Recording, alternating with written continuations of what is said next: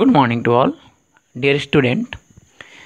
In previous topic, we are already discussed about answer the following question in brief, and now today we are going to start answer the following question or answer the following question in detail. Okay, come on the first question. How are media and technology depend on each other? It means media and technology ये दोनों एक दूसरे पे dependent कैसे हैं So now, come on to the page number 166 that is interdependence of technology and media. It means technology and media एक दूसरे पे कैसे इंटरडिपेंडेंट है। तो इस टॉपिक से सारा का सारा पॉइंट जो है, वो बहुत सारा पॉइंट अननेसेसरी भी दिया हुआ है।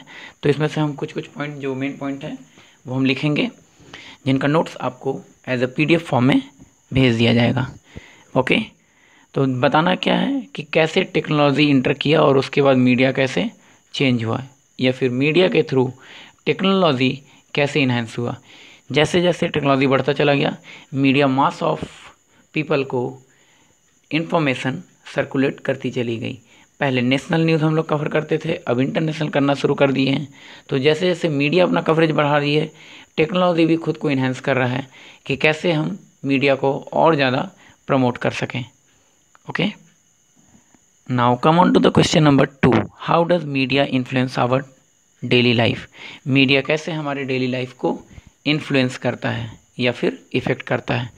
ऑब्वियस मीडिया के थ्रू हमारा डेली लाइफ कैसे इफ़ेक्ट होता है? तो मीडिया हमको जो जो इन्फॉर्मेशन प्रोवाइड करता है, उस इन्फॉर्मेशन के बेसिस पे हम अपना ओपिनियन चेंज करते हैं। जैसे, एक छोटा सा एग्जांपल इलेक्शन के टाइम पे पॉलिटिकल पार्टी के किसी रिप्रेजेंटेटिव को जब हमें वोट करना होता है तो हम न्यूज़ में देखते हैं पेपर में देखते हैं। अगर हमें ये पता चलता है कि ये रिप्रेजेंटेटिव किसी इलीगल ऑफेंस में या इलीगल वर्क में इन्वॉल्व हो चुका है या इन्वॉल्व रह चुका है तो हम उसे वोट नहीं करते हैं।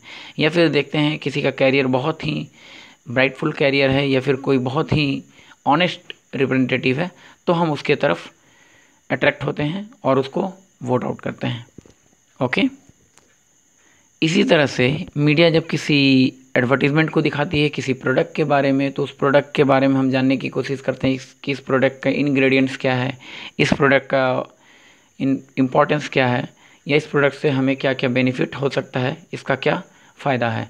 या फिर कुछ ऐसा एडवर्टीज़मेंट भी दिखाता है जिससे नुकसान है, जिसमें लिखा होता है it is injurious to health जैसे सिगरेट का ऐड होता है, या फिर अल्कोहलिक कुछ ऐड होता है जिसमें साफ़ साफ़ लिखा होता है it is injurious to health okay now come on to the question number three describe the role of media in democracy okay now come on to the page number 168 media and democracy तो इसमें भी बहुत सारे paragraph दिए हुए हैं. Media television and newspaper television and radio Indian cinema तो इसमें से दो दो इंपॉर्टेंट पॉइंट हमको ऐसा लगेगा कि हमारे लिए बहुत ज़्यादा इंपॉर्टेंट है. उस उस पॉइंट में से पाँच पॉइंट हम लिखेंगे क्योंकि ये लॉन्ग क्वेश्चन आंसर है. तो कोशिश कीजिएगा कि लॉन्ग क्वेश्चन आंसर के लिए कम से कम फाइव पॉइंट्स होना चाहिए, या फिर पैराग्राफ आपका सुटेबल हो okay now come on to the question number four in what ways does the media bring the problems of the common man to the forefront media कैसे कॉमन मैन के problem को forefront पर लेकर आती है फिर सामने लेकर आती है? जैसे, कह सकते हैं कि कुछ सोशल एविल्स हैं हमारे सोसाइटी में, या फिर कुछ पॉलिटिकल इलीगल एथिक्स है, या फिर कह सकते हैं ऐसा कि कुछ मिस हैपनिंग्स है, या फिर और भी बहुत सारे ऐसे इशूज़ ऐसे हमारे सोशल रिलेटेड इशूज़ या फिर इकोनॉमिकल इशूज़ जो कि कॉमन मैन से कॉमन पीपल से जुड़े होते हैं, उसको मीडिया सामने लेकर आती है, या फिर गवर्नमेंट को अवेयर करती है कि कॉमन पीपल के इस प्रॉब्लम को जल्द से जल्द सॉल्यूट करना चाहिए। क्यों?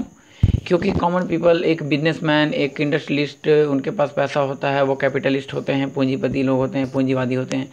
वो अपने ज़रूरतों की चीज़ों को पूरा कर सकते हैं। बट जो कॉमन पीपल होते हैं, उनको गवर्नमेंट एड की ज़रूरत होती है। गवर्नमेंट की तरफ़ से असिस्ट की ज़रूरत होती है। Okay now come on to the question number five do you think Indian media is free yes I think that Indian Indian media is free justify answer how I can say that that Indian media is free? Because there is no any restrictions on our media that to circulate or to publish or to telecast any ethical news or any social related issues any economical issues or any news any information from or collect from our surroundings and publish it or to circulate it to a large number of people. Okay तो इस chapter में बस इतना ही था।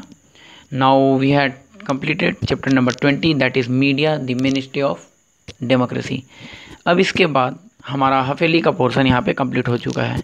Next हम लोग इसके बाद से रिवीजन वर्क शुरू करेंगे और चैप्टर के इंटरनल से जितना भी इंपॉर्टेंट क्वेश्चन होगा, वो सारे इंपॉर्टेंट क्वेश्चन को डिस्कस करेंगे। Okay thanks to all of you आप लोग भी अच्छे से रिवाइज करोगे। Okay thanks